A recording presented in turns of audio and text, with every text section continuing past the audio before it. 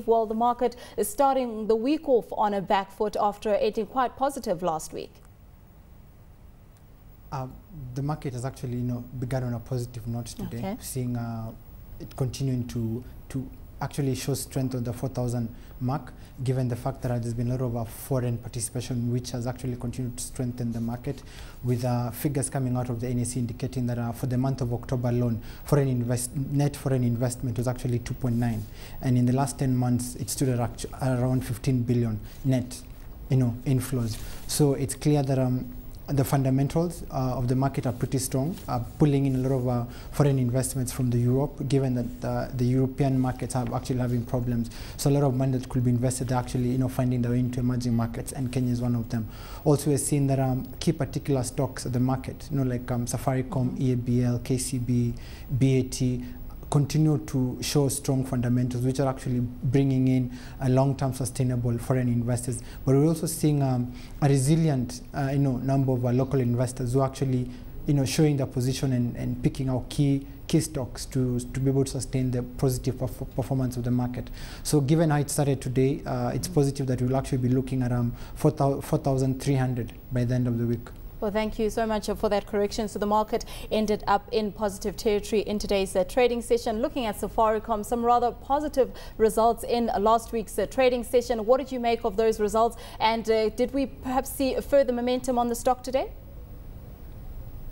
Uh, first, I must say that Safaricom did actually an impressive job, given that um, the last six months they actually know they made losses, especially in terms of um, return on uh, voice calls. But given how this results were 94% in terms of uh, you know profits after tax were pretty impressive, and this is virtually because of um, you know the brand itself and how they've been able to position themselves in the market with uh, key key products like M-Pesa, and also ensuring that um, they had a lot of competition in terms of voice calls, voice tariffs. But once they changed that and be able to you know be able to mark their own voice tariff rates, they've been able to recover that. We've been able to see that as a brand.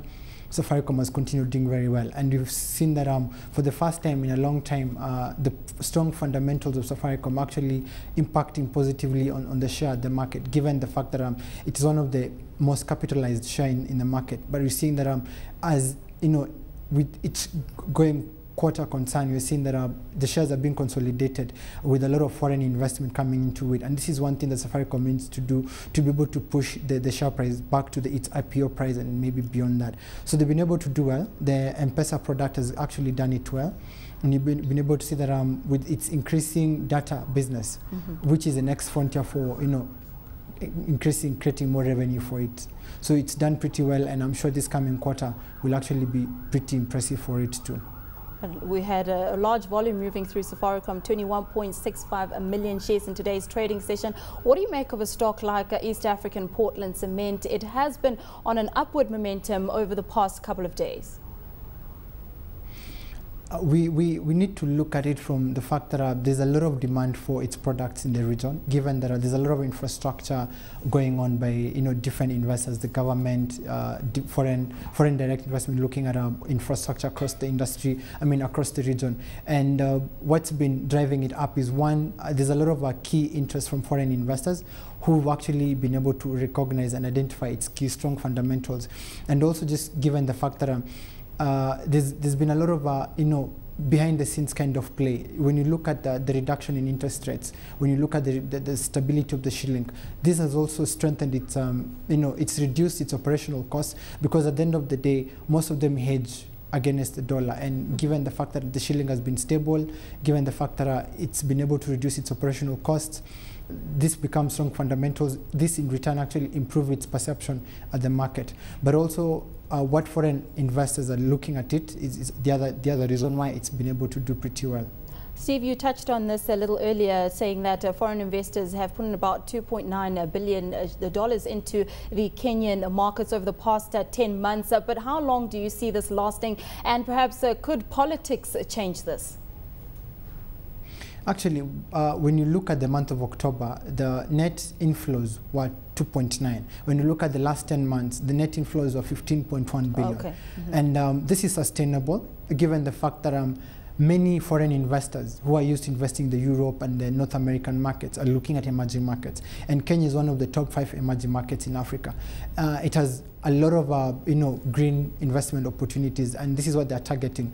Uh, it's sustainable as long as we are able to show confidence that the market and politics are independent, that the market has matured to a level whereby whoever becomes the next president, however we handle the next election, will not be able to affect this. And I think the the relevant stakeholders, the Capital Markets Authority, the NSE, the central bank, uh, with strong leadership have been able to ensure that uh, we learned a lot from uh, the 2007-2008 PEV issue. And I think uh, the enough mechanism in place to be able to see the market through any political turmoil to the next level, to the next presidency. So I'm, I'm, saying, I'm saying this is sustainable. The only thing that can be able to reduce the capital foreign inflows into the market is probably if fundamentals of key, you know, key top stocks change and mm -hmm. probably they'd want to divest the money into other investment options. But this is a trend that I see, you know, at least going on into the next coming quarter. Well, uh, we're looking at the CBK now, uh, looking uh, to uh, cap salaries of uh, bank executives. Uh, do you see bank executives agreeing to this? we're seeing the central bank is actually coming up with, with new regulations whereby uh, pay to the top level management is actually pegged on, on, on the size of the corporations they run. You know, what you earn is equivalent to the risk that you put the firm through.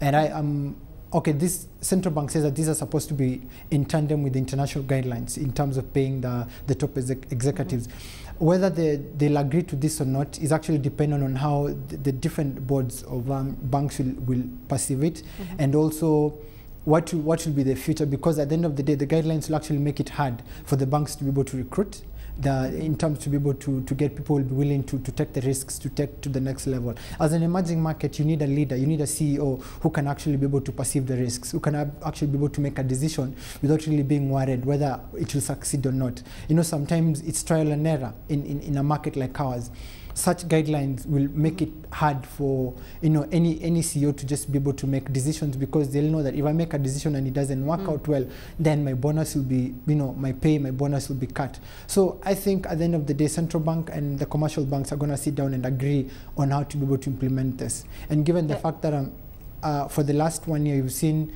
an increase across the board of 24% for most of the executives. Yeah. So this is something that central bank cannot just execute or implement on its own without actually sitting down and being able to agree with